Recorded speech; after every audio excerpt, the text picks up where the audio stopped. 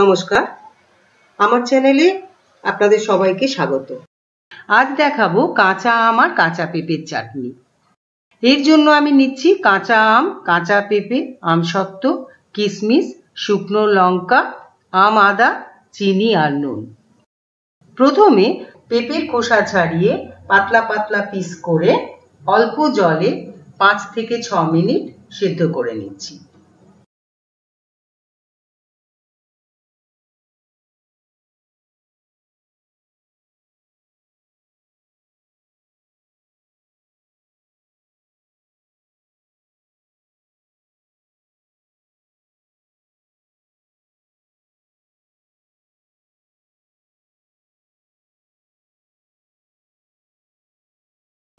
একইভাবে আমের খোসা ছাড়িয়ে অল্প জল দিয়ে দশ মিনিট মিডিয়াম আঁচে সেদ্ধ করে নিচ্ছি।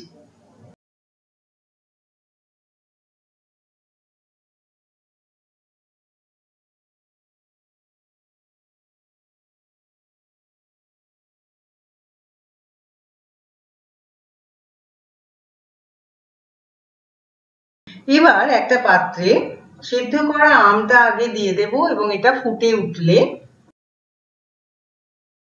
চিনি,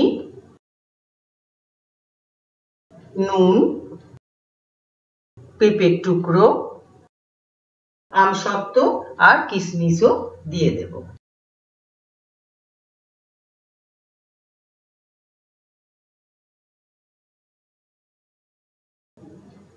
শুকনো লঙ্কা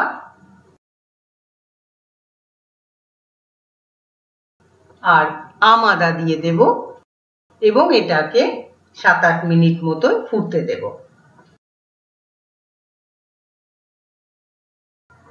এখন চাটনি গাঢ় হয়ে গেছে আর তৈরিও হয়ে গেছে।